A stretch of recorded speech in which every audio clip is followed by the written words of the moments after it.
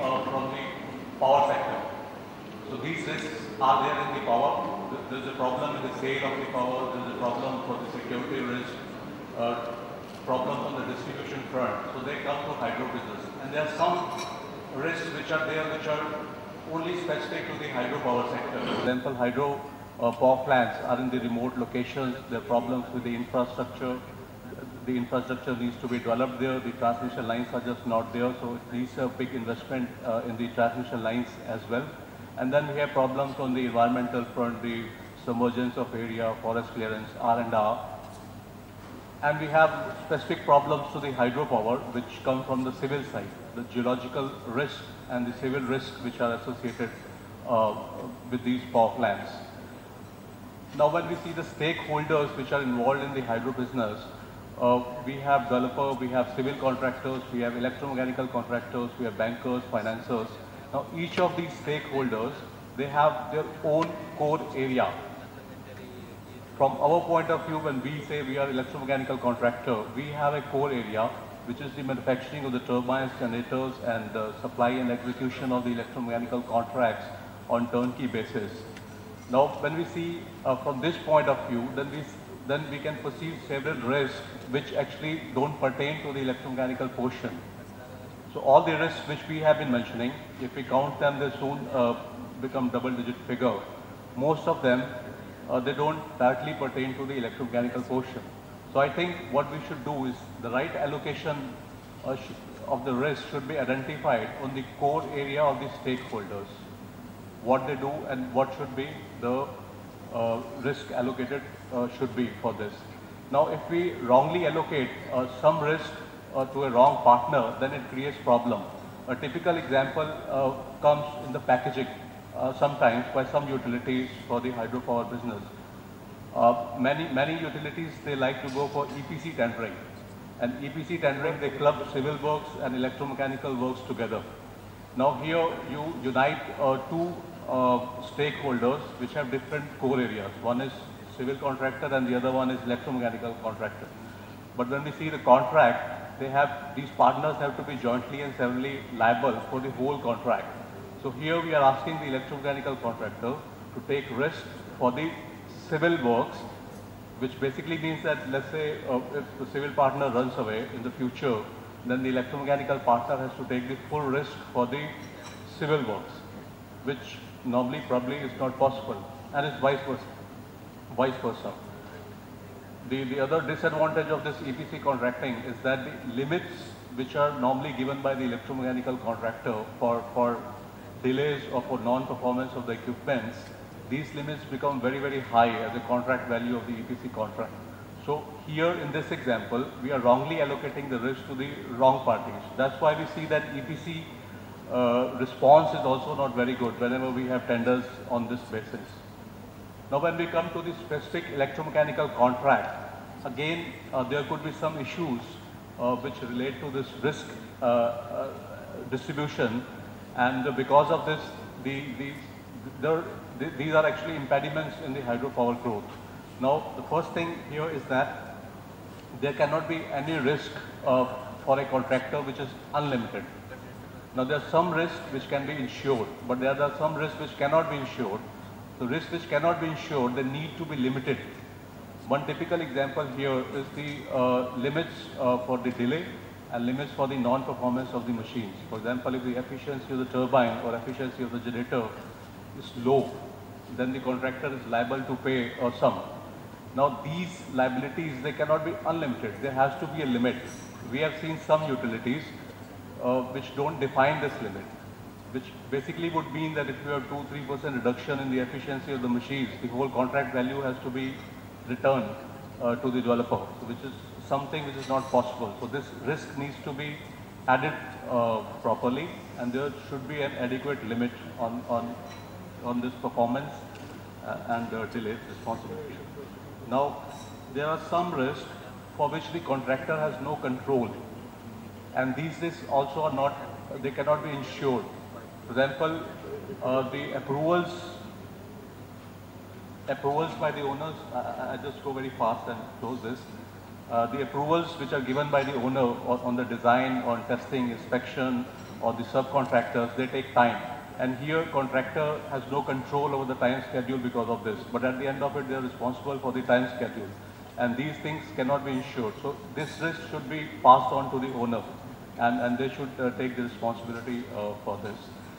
And then there are some risks like consequential damages or indirect damages which come in the contract and th these are practiced by some of the utilities. These are just not possible for the uh, electromechanical contractors or civil contractors because this can risk even the sale of the company. The contract value of some of the hydro projects are much more than the total revenues of uh, these kind of companies. So uh, from this perspective, I would say that the a good contract uh, should be framed, which should be a balanced one, and we should uh, give a balanced approach to all these risks which come in the uh, contractual conditions. And these contractual conditions should be very, very clear about the distribution of the risk and, and the proper one. Thank you. Thank you. Now we will go to the next speaker, Mr. N.K. Swarankar. Uh, today, in the early sessions, there had been lot of discussions on the risks uh, which involve to projects. Uh, mostly it involves to developers. Uh, being, I am being in BHEL, uh, I would like to put up some of the risks. In fact, which will uh, we would like to cover up at an early stage during the design stage itself before the manufacturing starts so that those risks are minim get minimized at a later date. Uh, they are basically, uh, as uh, has been said, uh, they are, they are, the risks which involves are the location of the site, geological conditions of the site, hydrological uh, inputs which have been collected after a lo long study or uh, detailed studies. And then after that, uh, when the uh, project has been executed and machines have been commissioned, then operation and maintenance related issues, even they are also uh, carry some risk to the developer. So all these issues uh, needs to be uh, taken up at a suitable time by the, uh, if it is uh, known, all the data, correct data are known to the manufacturer, they can be rightly set in a proper order. The design of the equipments can be done in a proper way so that later problems are uh, that risk involved at a later date to the developer or to the contractor gets minimized. The idea is that here, uh, I know there are so many projects in India also, wherein at the DPR stage, the detailed hydrological studies were done, but then the various data like heads, etc., which were fixed at that time, were not correct. And based on those data, uh, we were asked to design the machines, manufacture the machine, and after commissioning of those machines, when they were they operated, we had found that either their head for which they were designed is not available there, or the head for which they have been designed are exceeded for most of the time in the year. What does it mean? It means that the machines which has been designed for a particular zone of operation at its optimum operation is now being operated for most of the time in a year in a non-optimum zone. So it's ultimately a loss uh, to the uh, final developer. So if it is uh, what I uh, mean to say here is uh, that if uh, we know that whatever detailed studies, DPR stage or feasibility stage, wherever it is there, detailed studies are done all those data which are required as an input to the equipment uh, design should be as far as more correct, as far as more accurate. So that the machine after actual commissioning should operate in a proper way. That is part one. Part two is, uh, uh, as we know, in uh, last uh, most of the machines are in Himalayan ranges where the silt is a primary uh, culprit in operation of the machine. Now, if details of the silt content, everything is known. Of course, as a manufacturer, if we are told to uh, design the uh, machine in that way, probably we can uh, do the uh, better design, we can produce a better design, which will ultimately result in a easy maintenance for the developer. Less shutdown time and naturally more op- operational hours uh, available for, uh, to the uh, developer. So th- these are the points uh, which needs to be uh, taken care of uh, at the early stage of the designs, even at the time of tender preparations, I, I would say. Similarly, at a later date, when the machine, machines are commissioned, even we have seen that the operators are not trained properly, and it results in a shutdown of the machine. So opera- operator training is equally most important. It, it minimizes the risk of shutdown of the machine. It, it increases the overall uh, effectiveness of the performance of the machine. All this have to be taken into consideration. Although whatever uh, risks uh, are ultimately covered, it will go to the individual's performance areas, but ultimately last will be the sufferer will be the developer. So considering all those aspects, I would uh, uh, put into uh, this portion that whatever uh, detailed studies are done, hydraulic, hydraulic data, hydrological data, whatever is being collected, that should be done accurately. Okay, thank you. Thank you. Now, the last speaker is Mr. K. K. Gupta. You can speak from there. Take five, six, six minutes. Good evening, friends. I think uh, I need to be brief because there are already time overruns. And time and cost uh, overruns uh, is the biggest challenge that all of us are facing.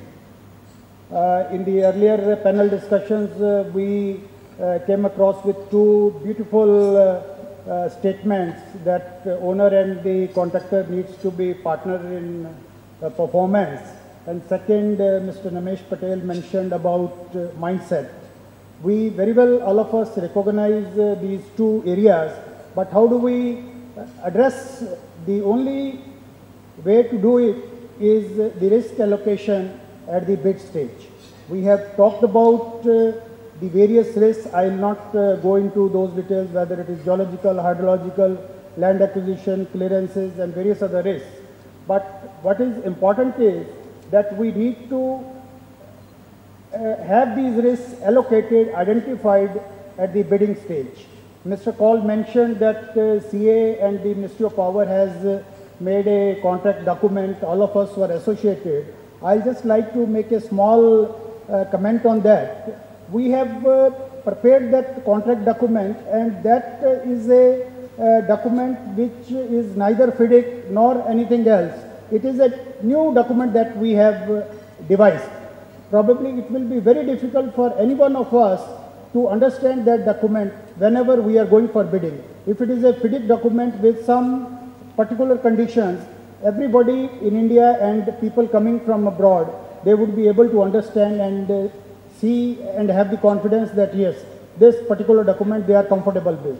But a total new document at this stage, probably I do not know to what extent uh, uh, this will be helpful. I would uh, like to invite uh, the attention of uh, NASHIA here while they are bringing out this white paper. We must uh, specially uh, uh, give a thought to this that whether we are comfortable with this kind of document or it should be a standard document with some particular conditions of the contract which is very easy to understand for all of us. And second small comment is about uh, the power policy. You see, the power uh, sector was opened to the private uh, sector, I think, way back in 1991. And it is almost 20 years back that uh, uh, we are looking at how much uh, capacity addition we have done in the power sector. I think it is not uh, more than 1500 megawatt today. Some of the projects, larger projects are under execution and still in the power policy, we are talking about the, about the allotment of projects, how the uh, power projects could be allotted through ultra mega power policy. The larger question we are not looking at is that how many power projects are left to be allotted. You see, already 37,000 we know that is already under operation. 1 lakh 50,000 is the total capacity. 60, 70,000 projects are already allotted. Some projects are under construction. We are talking about only 25, 30,000 megawatt projects which are yet to be allotted. And whereabout those projects are not really known. They are the uh, last projects in the uh, order of preference. So I think in that white paper, then what we talk about, the, our policy shift has to be there to see what is happening to those projects which are already allotted instead of uh, worrying about the allotment process. These were the two short thoughts that I should, I thought I must share with you. Thank you very much. I will try to sum up whatever has happened and then give my mic to my colleague, Mr. Sharma. Uh, we uh, have little confusion. We have three types of issues. One is the build, own and operate contract. Another is the EPC contract. And third is the package contract. Now the conditions and responsibilities involved in all these three are different. Now, if we were to uh, apply ourselves to the end result, which is production of a power at an agreed price, then irrespective of what contract it is, there is a terminal figure. And that figure, that figure, Sharma, please, please try to understand what I'm saying. That figure is based on the parameters of DPR. So let us say that we don't have to worry about any risk. Whatever we have to say, we should say in DPR. And any change in any condition which happens beyond the DPR, plus minus, should be accounted for by the regulatory commission, central regulatory commission in the terminal KWR rate. So the question of risk, if at all it arises, should be taken care of DPR plus or minus and you get a terminal result. So no headache for, for worry and there should be a joint committee which will take care of this. This is the first part. The second part of it which is whether X or Y does it, we must understand that as on date we do not have land records. So one of the biggest hurdles for land acquisition is there is no land record. How do we go about? It? So the, the concerned government, the government of India should try and computerize the land record so that there is no dual ownership. At the moment, there is a fight. X says that this is my land, Y says this is my land, and there is confusion. The second part of it is all the people involved in an activity should have a mindset to have joint responsibility. Now, in the DPR or in the document which you are going to make, there was a recent case about five, six years ago that the Norwegian government requested that the contractors of Norway should produce 100 kilometers of tunnel per year. When they said there is no geological investigation, they evolved a contract without geology. I can circulate that copy to through Mr. Iyer to everybody. So you can evolve a contract in absence of any geological data. This contract is in existence and it has been fulfilled. So we must have a joint mindset. We must own the, everybody must own. And so far as uh, affected people and uh, part of the acquisition process is concerned, we have document produced by the World Bank about three years ago in which all the developing country, countries have made the affected people part of the project. They are owners of the project, maybe half percent, one percent, whatever. But that money is put in an account and used for the welfare of the people. This is publicized, this is documented, and it is done. Now, we have a bidding document. My colleague, Mr. Gupta, said that a bidding document is not good. We have, we have privilege to say that change this. Let us have a document as a base. Nothing is done overnight. It is an evolution. If we start the present uh, standard bidding document as a base, let over years be, let it be corrected. Experience will correct it. Nothing can be, a, a document of that size can't be made in one and a half years experience. So that is what we should do. We should start this as a base.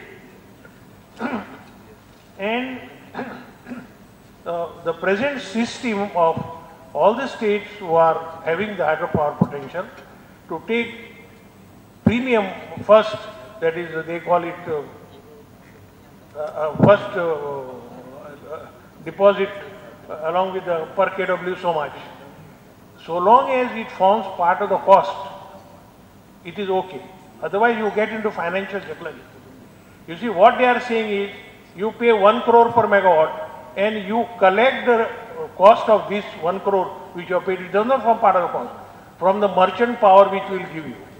Now, who knows what is going to happen for merchant power? Whoever is going to finance the project,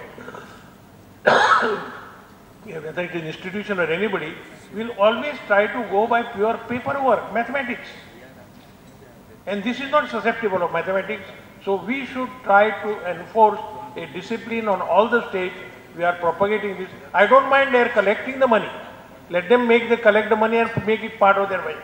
But let it be part of the project which is not uh, to be collected from merchant power. I think that that is all I have to say. Then I'll hand over the mic to my colleague.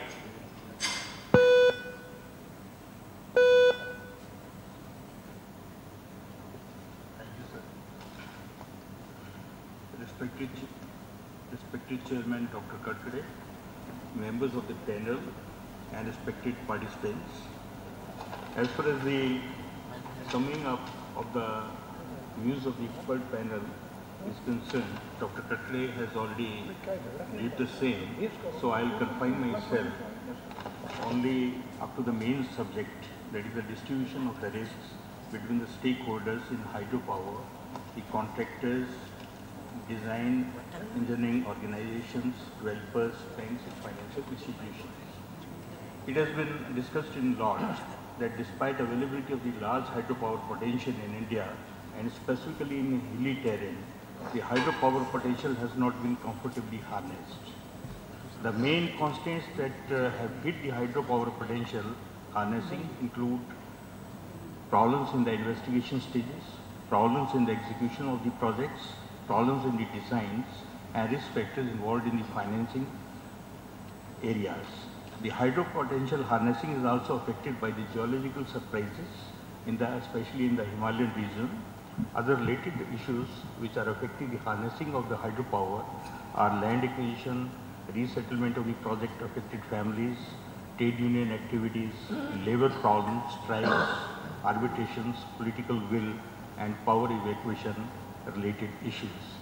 For harnessing the untapped hydro potential in a cost-effective and efficient way, the developer, designer, contractor, and the financial institutions, they must work in synchronism with each other, and the risks involved must be shared efficiently amongst the different stakeholders.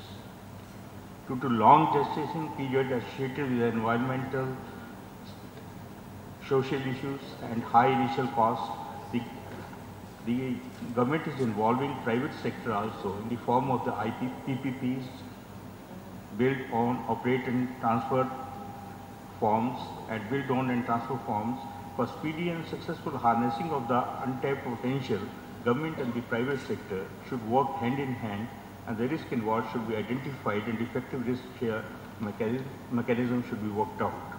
Though the risks involved in the execution of the hydro project are interrelated, to developers, contractors, designers, final institutions, but the main risks that the developer has to face are related with the identification of suitable and technical viable sites, hydrological data, investigations of geological uh, data, proper topographical surveys, approach roads, quarry sites, dumping jobs facing and planning at the planning stages, problems, then timely statutory clearances of the forest, involvement and other clearances, timely land acquisition and transfer of the land, delays and consequent time and cost overruns due to natural calamities, power evacuation related problems, operating grid conditions, usually those of over voltage, under voltage, over frequency, under, under frequency, etc. Then the sanitation problems, decision making, this was one of the subjects that was also discussed today, and the manufacturing capacity of the equipment manufacturers.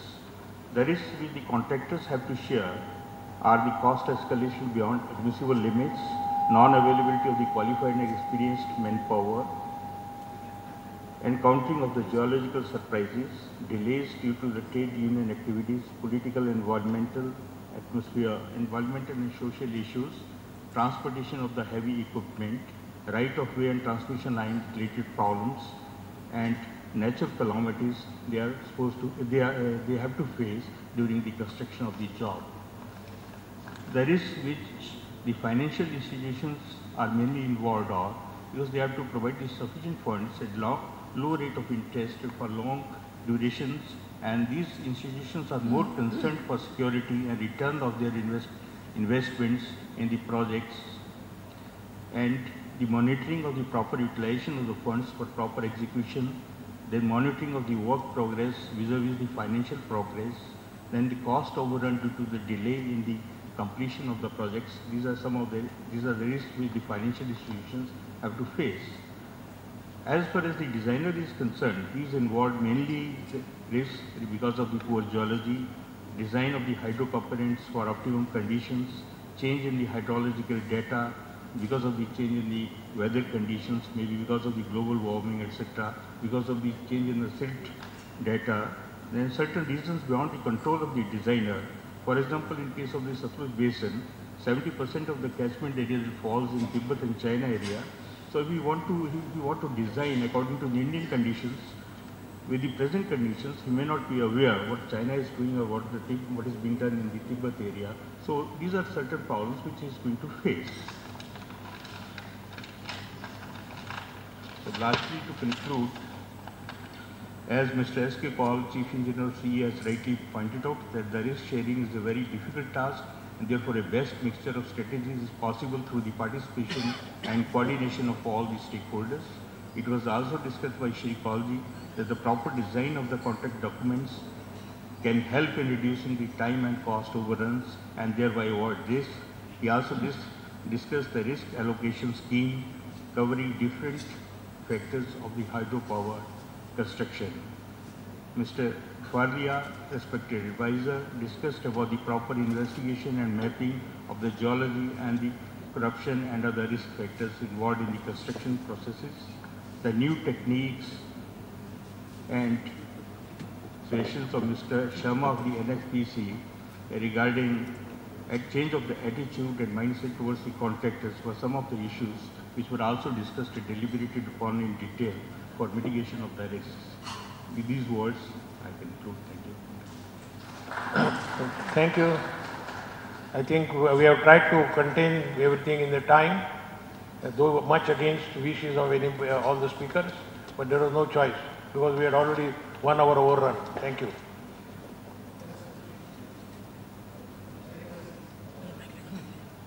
If anybody wants to ask any question, you're welcome.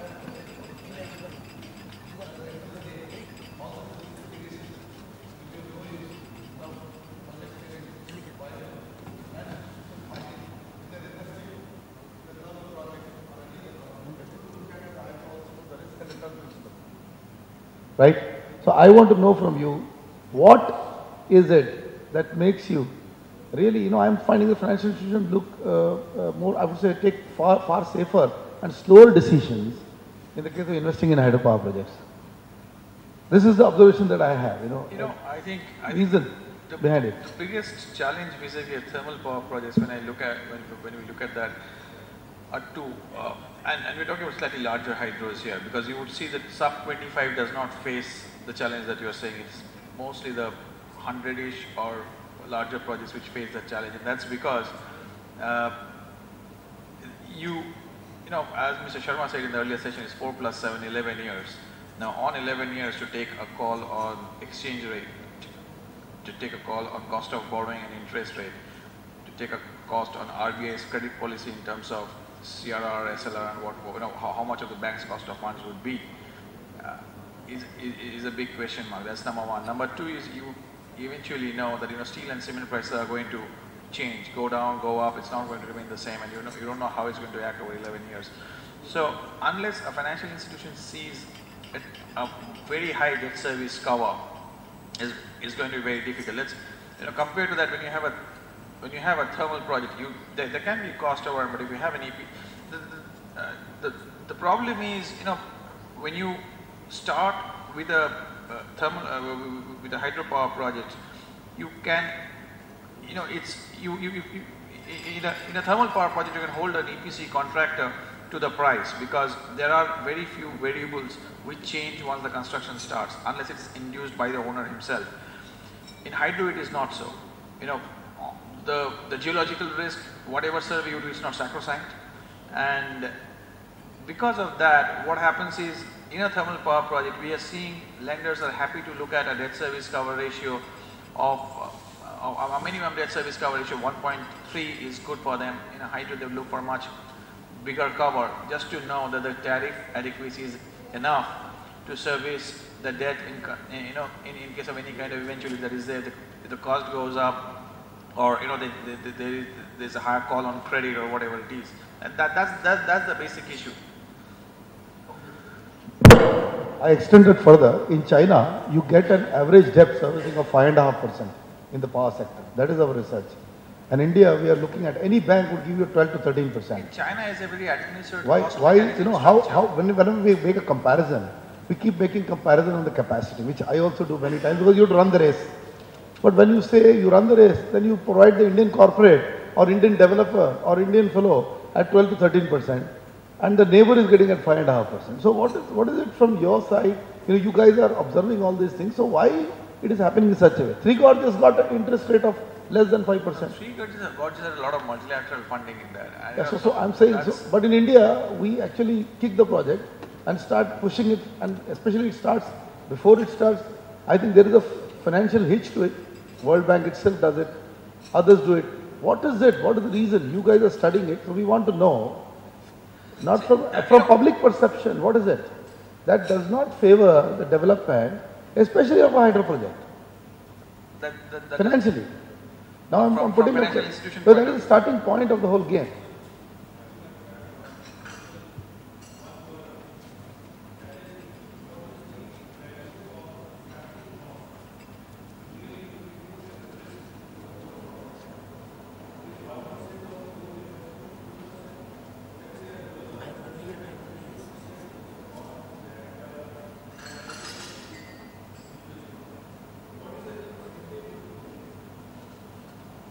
From the lender's point of view, from an equity investor point of view?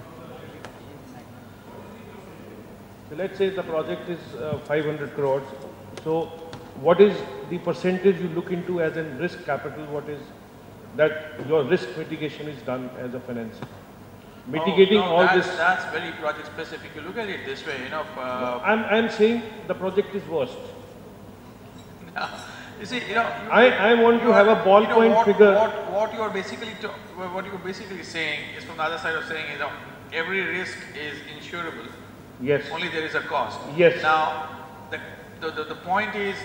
When the generation is also insurable. Yes, Today the generation yeah, you is can have a loss insurable. of profit cover also. So, yeah. so every every risk is insurable. There is a cost. The issue is what what what is the risk for a particular project?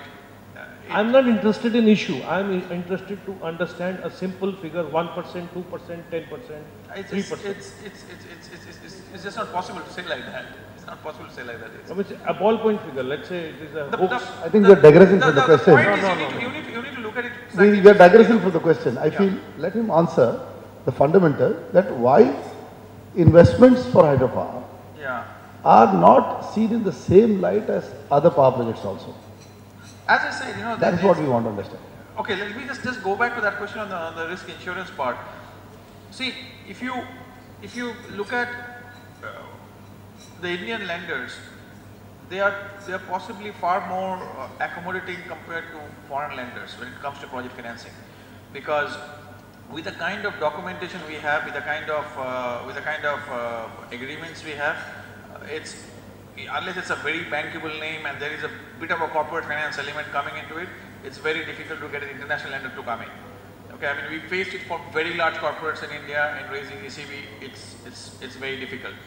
Now coming back to what Mr. Iyer is saying, why, the, I, I, think, I think one is possibly the understanding of thermal is much higher among the financing community than, than hydro. That's, that, that's, a, that's a general fact.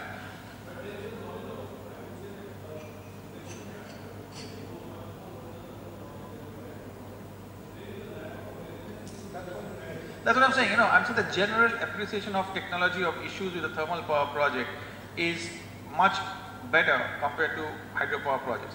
Secondly, post-construction uh, uh, risks get very quickly mitigated in the case of a thermal power project, which is not so in the case of hydro.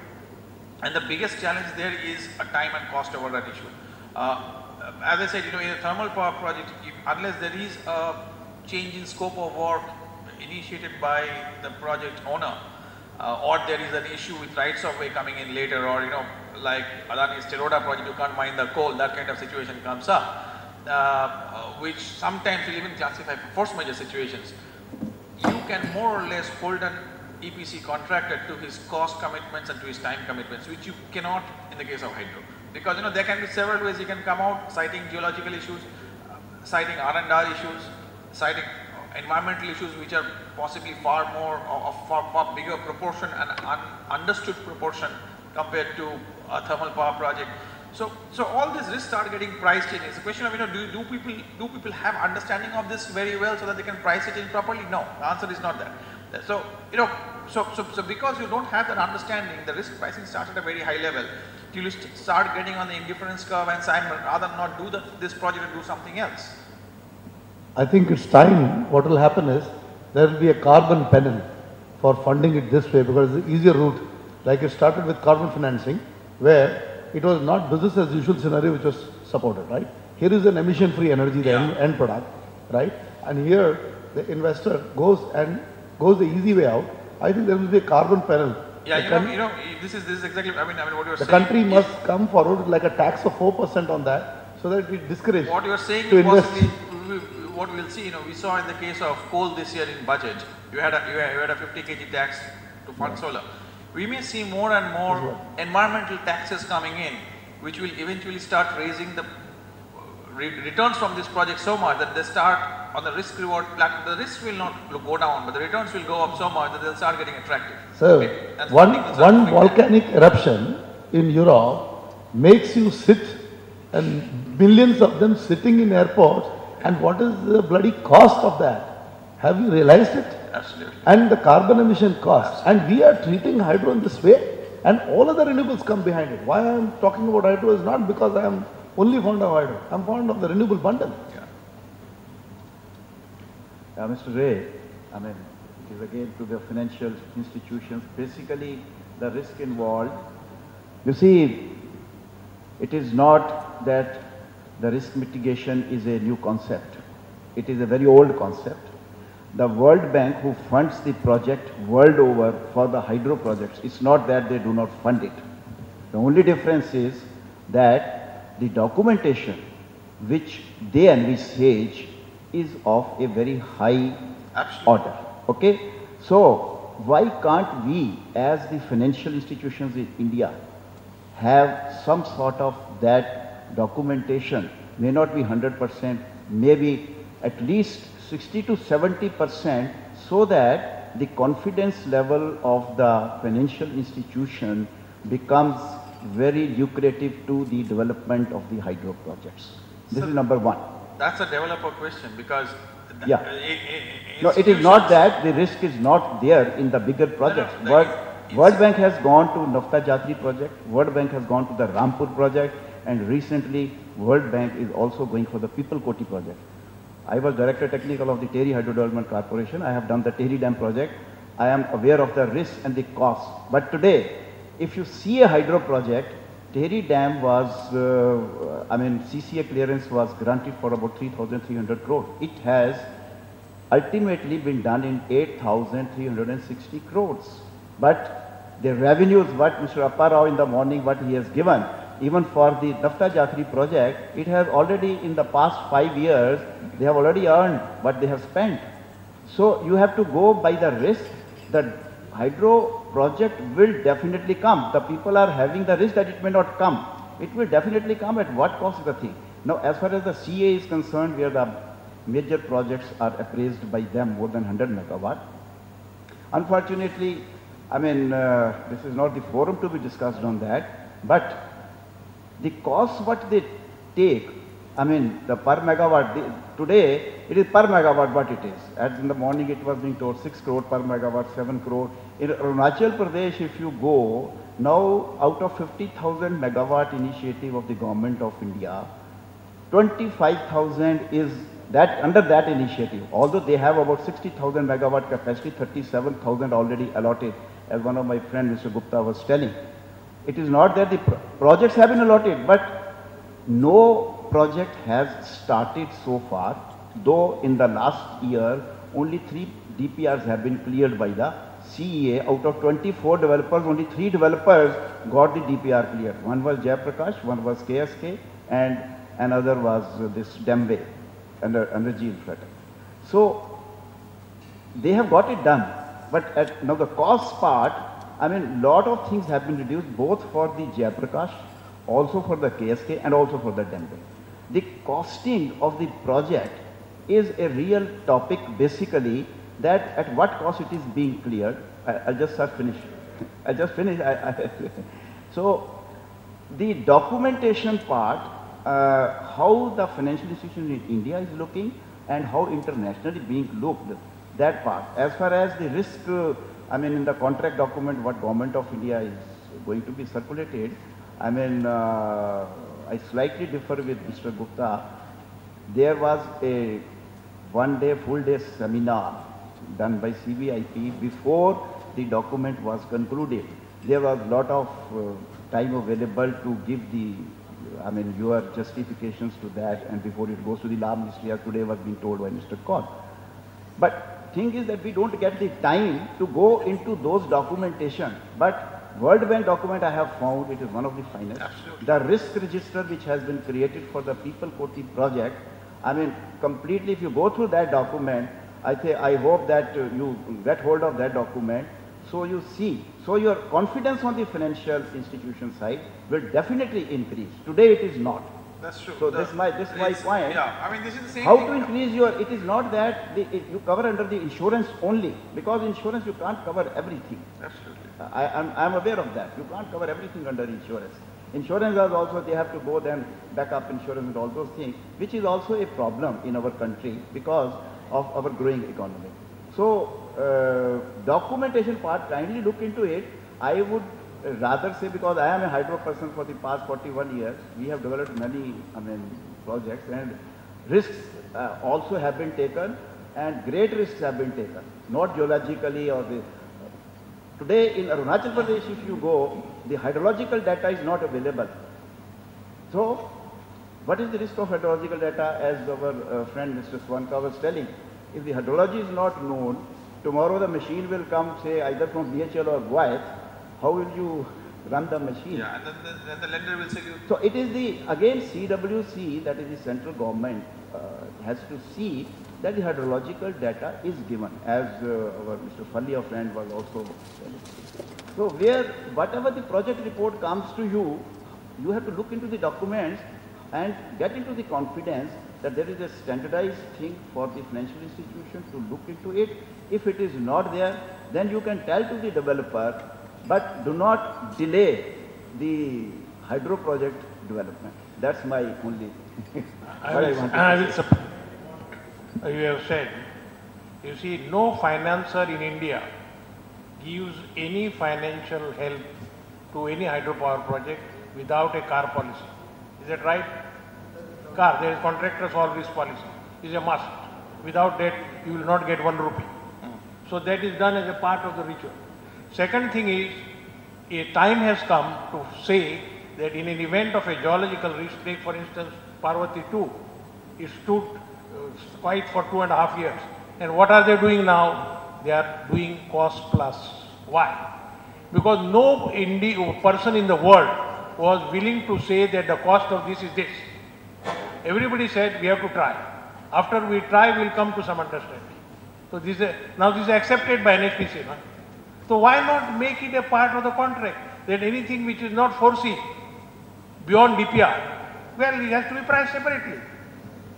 Agreed, sir. And why, why World Bank, what is the stand of the World Bank? World Bank stand is equity, one word. There is equity. So long as you have equity, there is no problem. Can I, can I ask one so the problem there is, you know, when you when you price it separately, if it's if it's post financial closure, then there becomes an issue on how is that funded once that price escalation happens. You, you have to be evolved and document. You can make a document. Yeah, so can- you have to have a loan document to Yeah, create, I I can assist you in making a document. yeah, to, to cover for those exigency Yeah, of yeah, cost, yeah. of- yeah. There is no problem. Yeah. I have a small Dr. question to is Mr. uh, very He knows what are the risks and how the geological surprises, even knowing that this is the geology, the vertical shaft has fallen down. It's a natural disaster. It comes under force majeure and cost plus is the only basis to do that.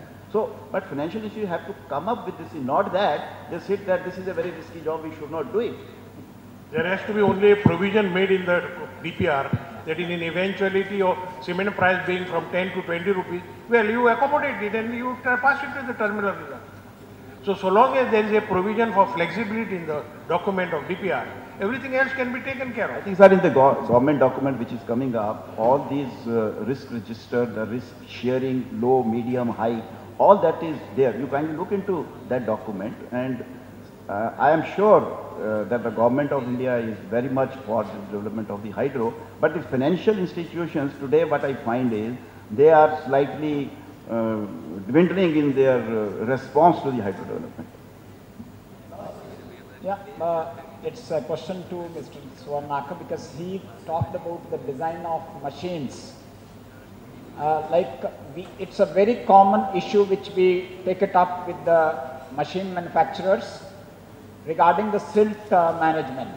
When we give a gradation curve, the quantum of the sediment which will hit the machines and we ask that what will be the type of a damage or what will be the cost of uh, replacing of, or operation maintenance. When we are to compare it uh, with provision of a desilter or no desilter, we don't get that kind of a definite answer.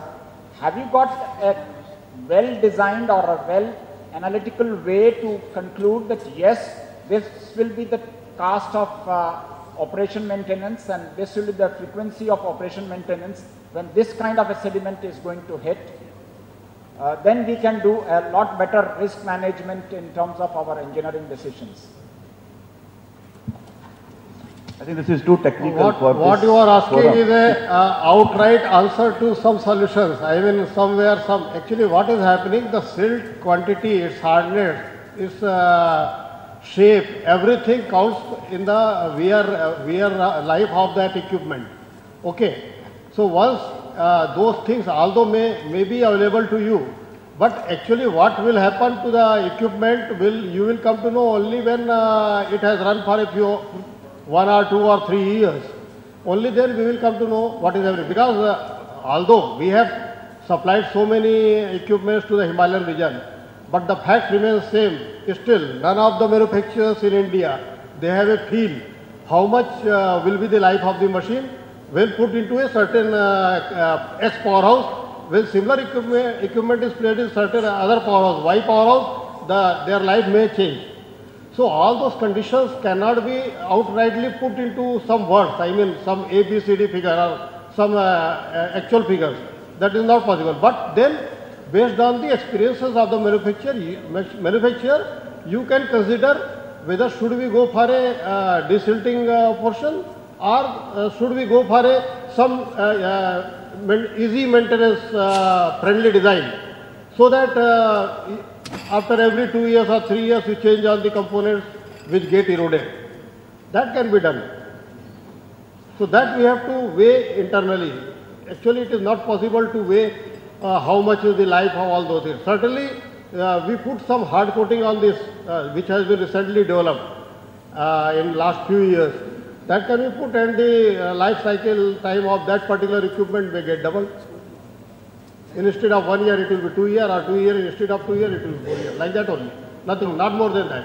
Even then, it will get eroded. Thank you, sir. I think we are encroaching into the next One- session. One, one, Yeah. You want a question? Okay. Short, sir. Brief. I would like to respond to some of the perception regarding jolly geological surprises. Let me inform the audience that in the document which we have proposed, after hard work of two years, in which 28 stakeholders were involved, we have under geological surprises covered 10 events. Number one, occurrence of hard rock strata substantially adverse than that specified in the geotechnical base paper. Occurrence of sudden loose fall chimney formation. Squeezing ground conditions substantially adverse than that mentioned in the geotechnical baseline report. Excavation oblique lining of HRT beyond package interface. Dewatering after HRT breakthrough. Ingress of water substantially higher than that mentioned in the geotechnical baseline report. Occurrence of hot water springs beyond limits described in geotechnical baseline report. Emission of harmful gases and out of construction activities, encountering of harmful gases, namely methane out of underground excavation, rock bursting, ground conditions materially adverse than that mentioned in the geotechnical baseline report. Sir, we would take all this So, for we sure. have We have tried to contain, incorporate all the experiences we have got for various projects, and I would write the audience that before commenting on this aspect, please look at the website, see website, these things No. I would, I would request, sir, your website is fine, but I would like to print all this in inertia. We will take it from you, we will publish it for everybody. That is what I am Or can thinking. you please wait for ten days? Ha, definitely. Okay. Whenever you, because see, we want to make it public, because what is happening in every forum. Right, right, right. All the CA Career projects are examined thoroughly for Dr. Has raised. Before we issue TEC, whatever mechanism or construction features are to be provided in the project, we insist that DPR should incorporate those aspects. Sure, sir. Thanks. Thanks very much.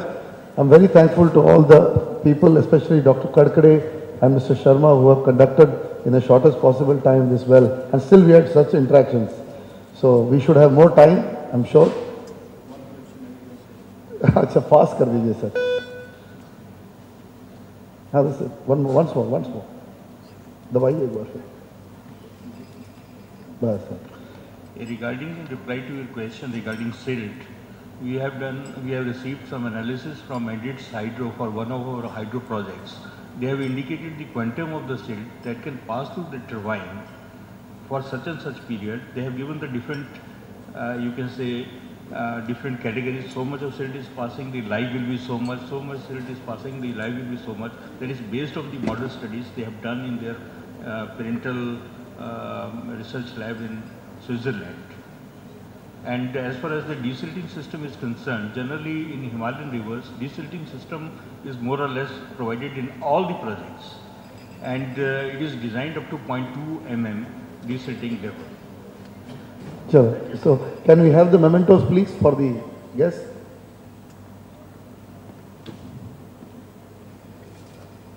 First one for Dr. Kadkade. May I request Shri Sharma to give it off? Dr. Kadkade, the chairman of the panel. Please give a big hand.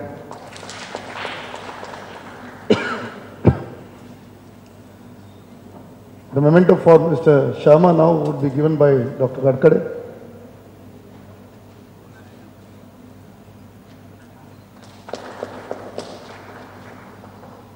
May I request Dr. Kadkade to also give the mementos to the other four on the left hand side. Shri K.K. Gupta. I'm sorry. Our friend from BHEL Bhopal.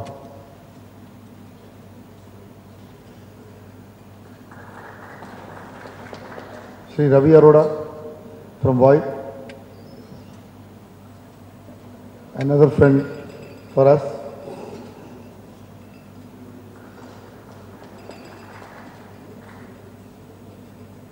And Sri Sayaji Shinde of Kirloskar Limited. Thank you, gentlemen. And may I now request Sharmaji to give away the mementos to our uh, financial uh, and uh, I would say excellent guests. First starting with Mercados, Mr. Anish De. The next to our developer friend, Sri Partha and Saha. Partha has been also a very old friend of ours. And last but not the least to Mr. Shubhamoy Ray, who took time off and really contributed and enlightened us today.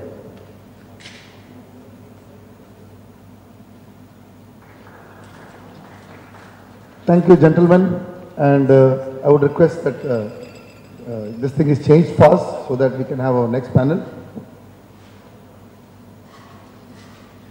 We will have a dinner and cocktail. We think next 35, 40 minutes. Kindly keep patience and we must all join together.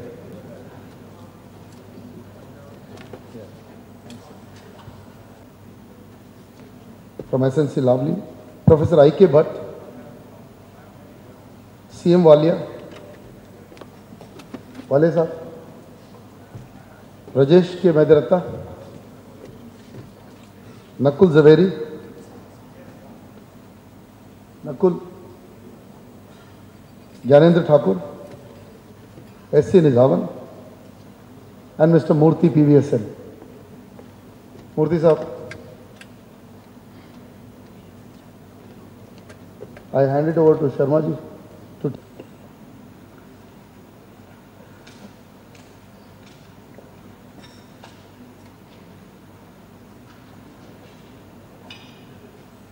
The fag end of the day, so everybody must be very tired.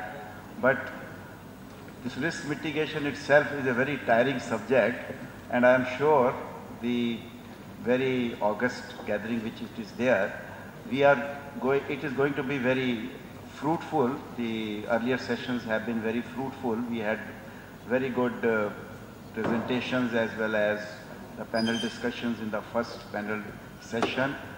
And I'm sure uh, it will be very fruitful with my all senior colleagues sitting besides me. I welcome them all on the dais. The topic of the today, uh, this uh, discussions basically uh, is the risk mitigation in the development of hydropower projects. We have seen basically the distribution of the risk, the risks remaining the same, in fact. And the basically what we see that the risk, it is a function of the various consequences and the severity of the hazards, basically which is occurring uh, on a project. And how to mitigate it, the risks are known, the mitigation measure, how it will be there. Let us see how our uh, panelists on the dais, they have to say. I would, uh, at the outset, request Mr. Uh, Professor Bhatt, the Director of the National Institute of Technology, to kindly uh, give his views. Thank you, Chairman. Uh, I am thankful to the organizers for inviting me here, uh, especially Professor Iyer. Uh, since uh, early afternoon, we have been talking about the risks which are involved in this. And especially when we talked about risks, most of the people talked about the financial risks only. Uh, some of them, in fact, also try to highlight the technical uh, risks which are involved in this process. When we look at these risks, I, uh, they need to be identified absolutely clearly, then and only then we'll be in a position to mitigate them. We'll be in a position to identify, if we are in a position to identify clearly, then we will be in a position to uh, ultimately uh, take measures in order to uh, reduce their effect, in fact. Similarly, once we have identified them, it is important that we plan and how uh, we need to plan the processes and uh, start thinking of how do we map out, map out the uh, social uh, scope of the risk management, identity and objective of the stakeholders, and finally defining the framework in which we will be working. When we look at these, we can identify them basically in three categories. As I said, technical um, aspects, the financial aspects and the social aspects. Since morning, a lot of things have been talked about, the technical aspects and the financial aspects. I'll just talk about the social aspects because I deal in the social sector only. When we look at these, we have seen that there are a lot of issues which are involved and nobody in fact touched it since morning. People get displaced, we do not talk about it. People, we, we do have a lot of uh, uh, trash coming out of these power plants. Nobody talks about how do we uh, mitigate it. People do create problems. There are issues we have seen in Himachal. I belong to Himachal and I have seen that what are the issues. It becomes almost impossible to live near those sites and we never talked about those issues. We do want to earn money and I am not averse to that. Please do earn money but don't uh, make the life of a common man miserable the way uh, we are trying to do it uh, today. We have seen that what is happening to water. You have to look at not water, uh, what is available as of today. The quantity of water which is coming down is reducing day by day. The glaciers are melting and we do find, even in Uttaranchal, the Nar and Nari glacier have broken into two parts. And therefore, it might happen again in near future that more and more glaciers will keep on depleting and then how are we trying to take care of these things and will this be a sustainable system the way we are moving as of today? When we look at this, we also have to look at the people who live, their culture. Uh, we have never thought about do we try to preserve them. The forestation, deforestation which has taken place in Himachal because of many projects, not only hydro projects, but many other similar projects have almost ruined the total topology of that uh, uh state people are staying here and they have been excavating so much uh, material from those hills and if any time a small, because uh, Himachal is on zone 5 uh, as far as the seismological uh, map is concerned. Risks are inherent to hydroelectric projects, whether internal, external, technical or financial. Keeping in view all the common problems, hydropower producers of Satluj Basin have constituted a forum to address their problems under five-point program.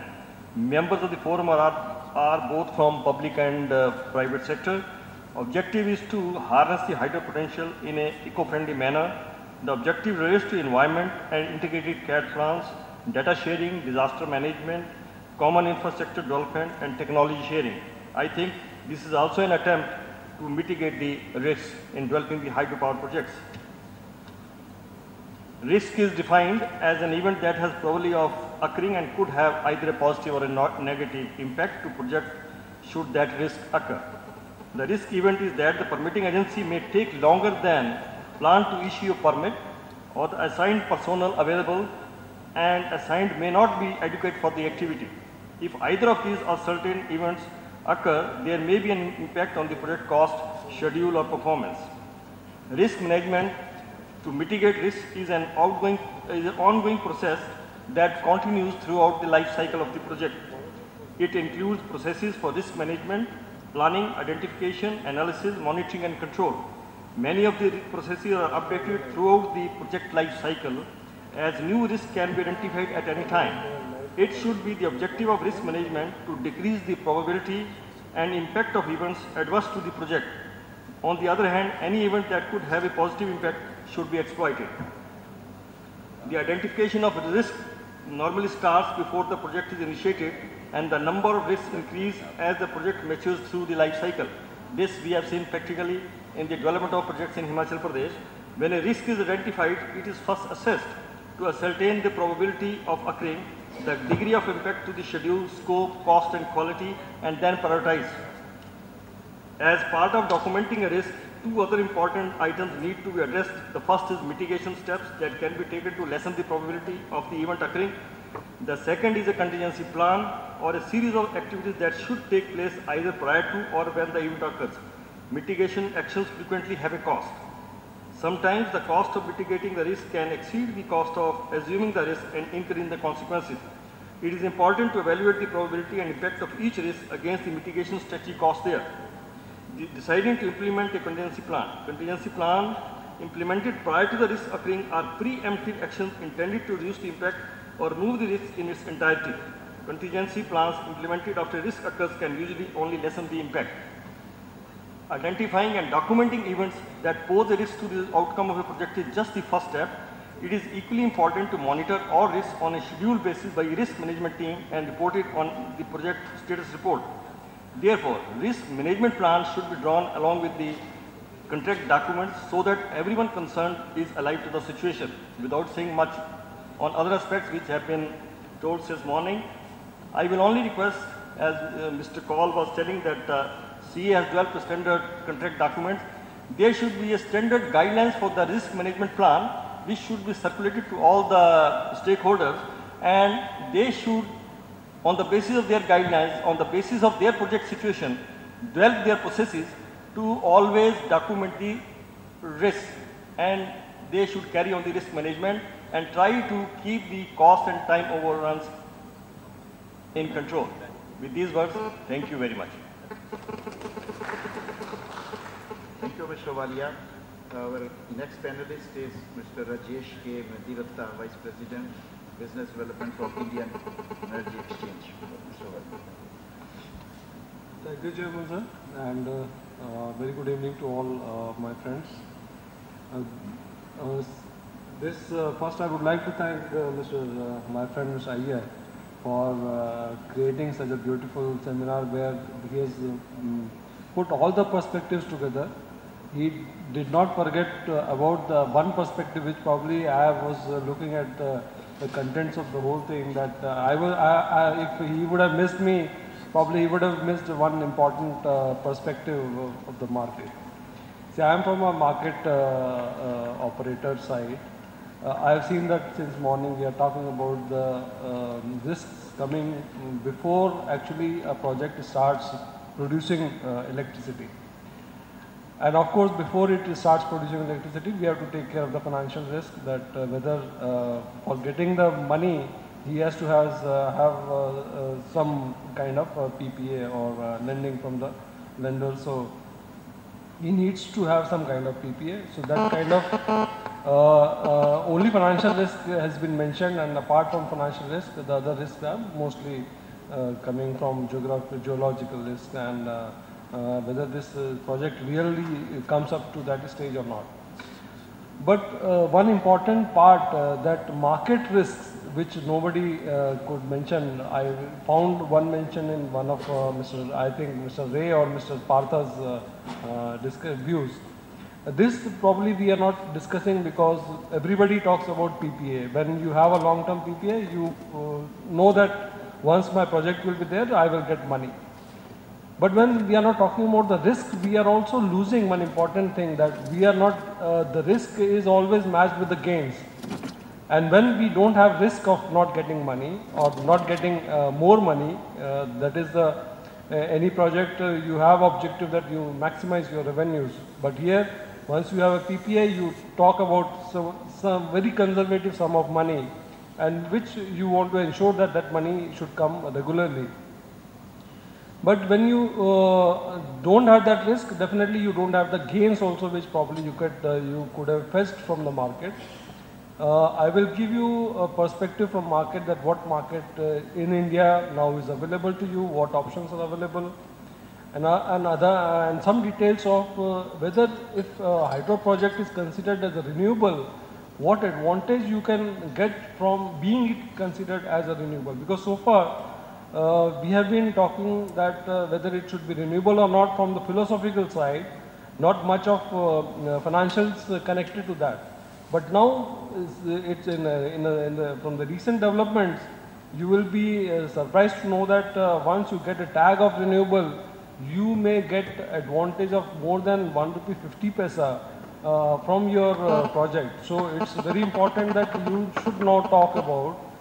That should be, I think, your primary agenda coming out from this forum that if you, um, your large project, which is more than 25 megawatt, starts getting a tag of renewable, then you will get minimum 1 rupees 50 paisa extra from the generation you will do from your uh, project. Because this is a very recent development, probably most of the people may not be aware.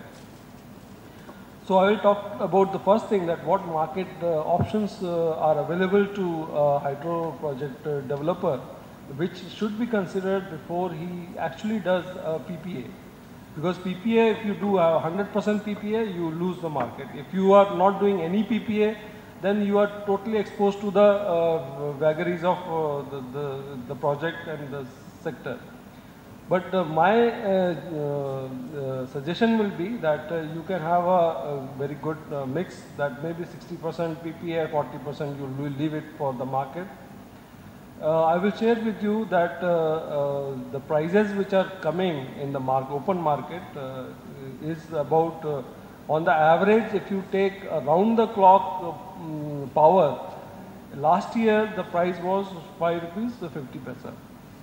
And if you see only the hydro part, hydro normally you would be running in the peak hours. And in the peak hour, if you see the price, the price will be more than 6 rupees per unit. Normally what you get from PPA may be about 3 rupees. And when you talk about anything beyond 350, I know that uh, today the utilities are scared to have any PPA at about 4 rupees. Today in the morning when Mr. Aparok uh, shared with uh, us that uh, the project cost is 390, then definitely I am aware of many utilities who are not comfortable at 4 390. So one is that uh, if you talk about any project cost which is more than 3, 350, the utilities are not comfortable with because uh, thermal costs are not uh, the, the overall price of power. We people don't expect it to be at 550 or 6 rupees definitely, but it may come uh, come to uh, maybe 450 in about um, uh, two years or three years time. In that case also it would be very very right that uh, you may do a part of your project uh, uh, under PPA and part of the project in uh, short term you may be selling as a merchant capacity. I will share you with you the options which are available today for, to the uh, uh, project uh, developers. See, we, uh, the exchange, uh, the uh, power exchange, uh, the, ours is the premier exchange in the country. We started uh, 22 months back in June 2008 and that time uh, we started with five or six uh, participants. We started with the day-ahead market in which you would be allowed to sell your power eh, on one day-ahead basis.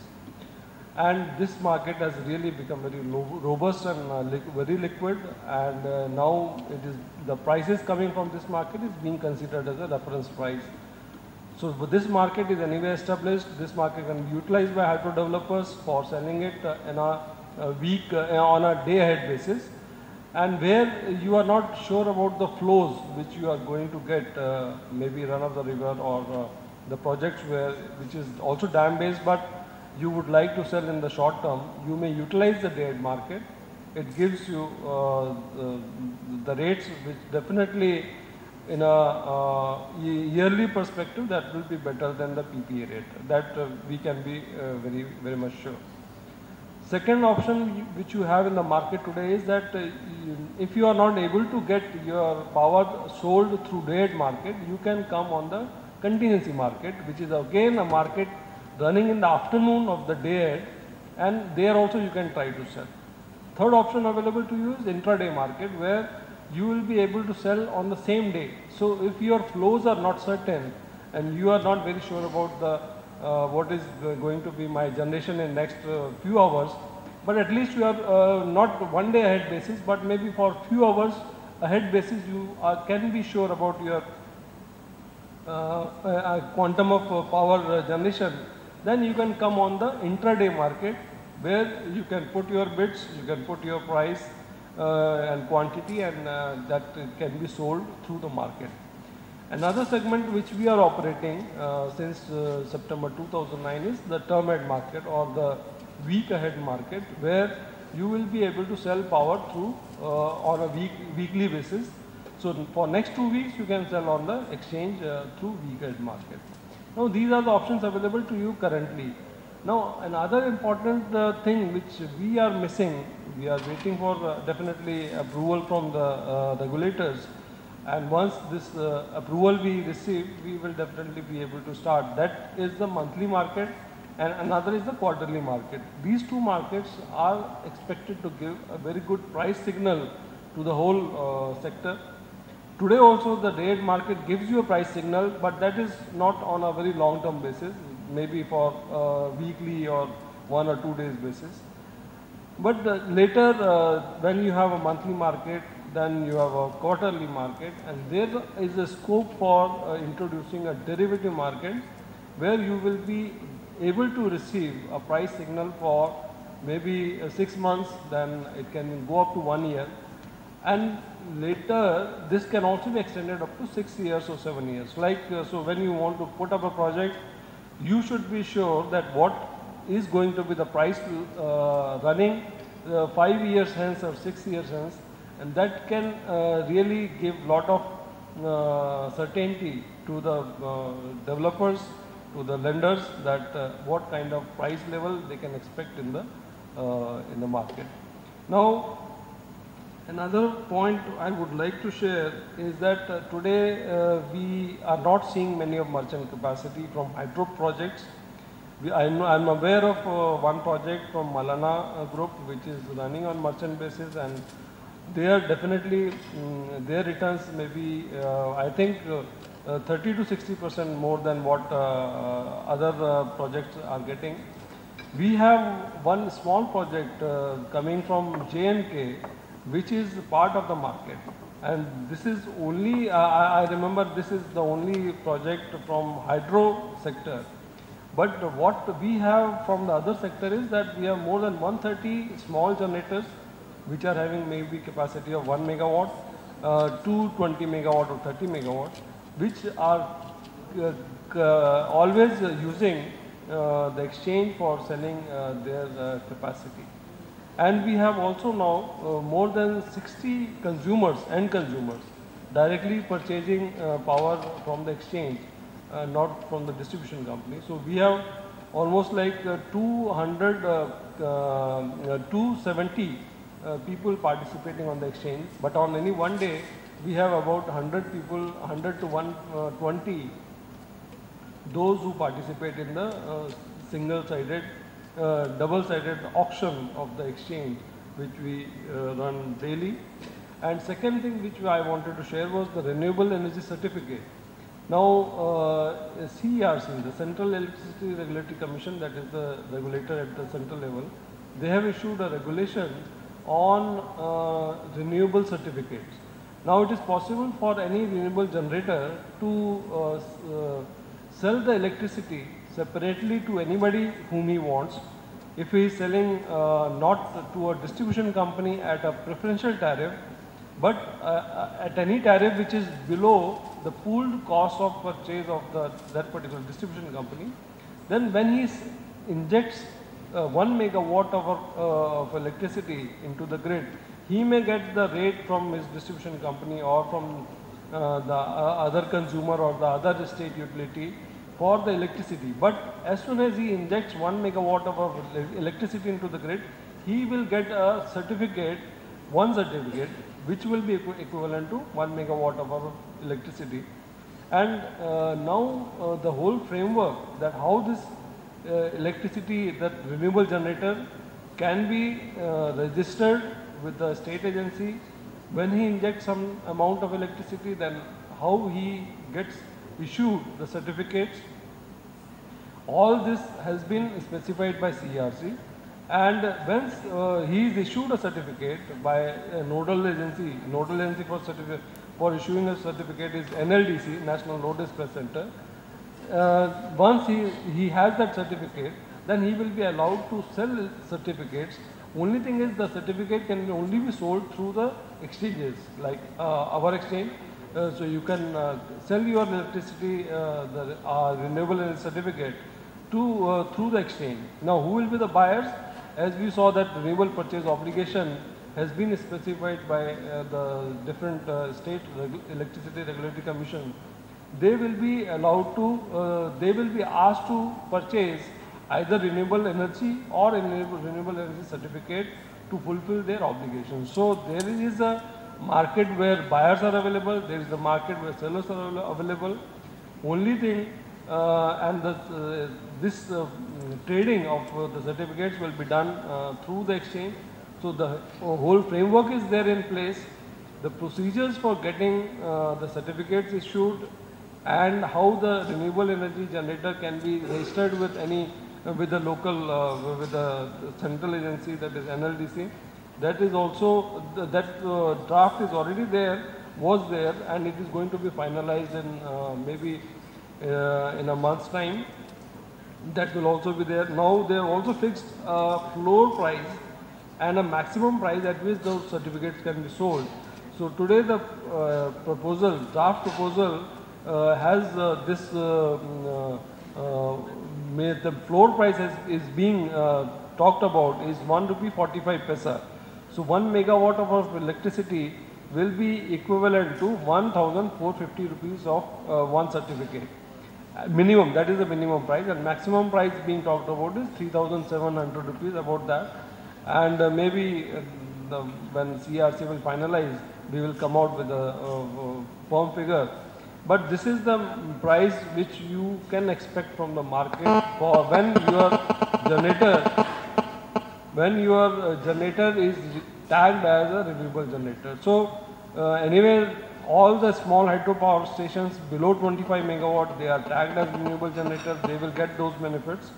But definitely uh, we can uh, have uh, now some kind of uh, forum where we can take it up to the government that even the large hydro which is more than 25 megawatt, they can, they should be considered as renewable. So uh, with these two things uh, to share, uh, any, any, anyway, you, all the prices, market clearing prices, which are currently there in the system, those are available on the website, our website. You can see those prices. Current market price, uh, average market price uh, in the month of April is being more than 8 rupees. It goes up to maximum price. Today also it is ruling up to uh, 13 rupees 50 paisa. So uh, all this uh, market should be, uh, this option should not be left by um, the hydro developers when they are uh, looking at uh, the option for sale of power. So with those things, I think I'll close that. Thank, thank you very much, Mr. Mandiratta. It is a lot of insight into the power exchange, particularly into the hydro market, and the people can definitely take risks in that. Uh, our next speaker is Mr. Nakul Zaveri, Principal Consultant from Climate Change Capital. Uh, you know, it, we've been talking about risks throughout, and the theme is risk, and I think we've pretty much covered most of the risks. Um, I'm just going to make a couple of disclaimers, and then I'm going to talk about the carbon side of it. One is uh, in the event of, uh, uh, in the order of preference for investors, we are also investors into uh, uh, renewable energy projects. We prefer hydro, which is small hydro. We prefer wind, and then we prefer biomass. So clearly, uh, small hydro is uh, a preferred investing avenue for a lot of investors domestically and internationally. Um, given the fact, and again we were talking about the renewables uh, uh, definition and, and you know about the hydro bit. Uh, interestingly, there are some 12 to 14 reasons um, why large hydro should not be considered renewables. And it's nothing to do with definition. It's clearly, as you know, one of the colleagues mentioned here, that as soon as um, there are preferential tariffs, preferential benefits and subsidies available for every other renewable energy, which uh, suddenly becomes applicable uh, to the hydro angle. And um, thus the international body, does governments and does activists want that to happen because you only have a specific source of uh, subsidy available for the other renewable uh, energy angle. And obviously then you also have uh, R&R issues coming with it. Interestingly, there is a methane issue in large hydro projects. Uh, you know, large reservoirs with, with over 5 meter uh, depth. Uh, one school of thought claims that large amounts of methane um, are generated. And if you see net-net uh, compared to thermal power, uh, these uh, hydro projects are more harmful from an emission perspective. So that's again one school of thought. But coming to the carbon side of it, just to throw some numbers, if you have a 100 megawatt uh, hydro project, uh, you can, thumb rule, expect about uh, 400,000 credits per annum. Um, and if you're expecting 400,000 credits per annum, take a 10-year project, you're talking about roughly about 4 million euros being paid every year, which translates into uh, 4 million 20 crores uh, per annum is not a small amount. Um, 20 crores uh, over a period of, uh, of every year for 10, 10 years is, is a significant amount of revenue coming in only from carbon. So somewhere, uh, you know, you need to try and factor this. Obviously, there are a lot of hurdles and a lot of regulatory concerns to get the carbon revenue in it. And there are significant risks uh, in not doing that. Um, clearly, your R&R issues, your um, uh, you know, methane issues, your large-small debate, European countries who are essentially the buyers don't like to buy large hydro uh, credits. Uh, large hydro credits essentially some, some uh, school of thought think um, are not additional and should not get carbon credits uh, purely from the fact that um, you know the, the carbon revenue will not make a substantial impact on them from an aspect of uh, additionality. Um, but at the end of the day, the largest uh, CDM projects in the pipeline are, are of hydro. China obviously leads the way. Uh, India is, is, is second. Um, there are some very large hydro projects, including um, uh, some in Kashmir and in Northeast, where either in the pipeline of getting registered or being given approval by Ministry of Environment and Forestry from a carbon perspective. Um, so essentially what I'm trying to say is that uh, given uh, multiple risks coming from development, implementation, planning side, R&R issues, social issues, it's imperative to try and uh, see that a hydro project gets these kind of carbon credits and carbon revenues, uh, which would essentially help them to try and expedite financial closure. Because one of the interesting risks which is becoming incremental uh, that I'm seeing is uh, financial closures not being happening. And trust me, I see uh, one hydro project term sheet every week. Uh, and uh, most of these uh, people are in the market for the last one and a half, two years. essentially, financial closure is not happening from an equity perspective, and I think a carbon can play significant amount to do expedite the carbon to financial closure on that. Thank you. Thank you, Mr. Nakul. I think uh, there are lots of ifs and buts also on the Kyoto Protocol after 2012 as far as the hydro is concerned. So I think a lot of questions will come up. So we'll, we'll wait for the questions to come up. But meanwhile, I think uh, Mr. Gyanendra Thakur, the team leader from CRISIL, I will request him to give his view. Uh, thank you, Mr. Sharma. Uh, I represent CRISIL uh, Risk and Infrastructure Solutions Group, uh, which is advisory division of uh, CRISIL. Uh, I personally come from techno-commercial background, um, have worked uh, sometimes uh, with the developer and then did my MBA Finance and then worked with CRISIL and have been working on um, multiple assignments related to hydro projects with developers, with governments, with private equity funds on multiple hydro projects. Many of this uh, this hydro projects into, into the private sector. Uh, it was a very enthusiastic and passionate discussion in the earlier session, uh, wherein we, uh, in, I mean, discussed about uh, about 37,000 megawatt having been allocated to the private sector, and there's been no movement there.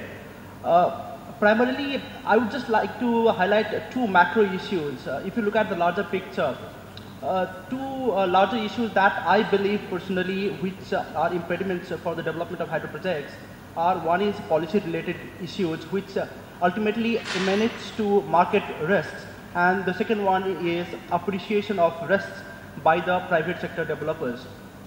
First one, uh, uh, this policy related risk, when we talk about PPA, fine, but where is the, where is the market for the PPA?